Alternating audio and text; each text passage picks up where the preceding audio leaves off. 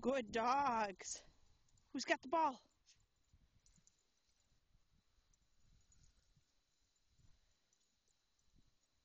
Cole's got the ball.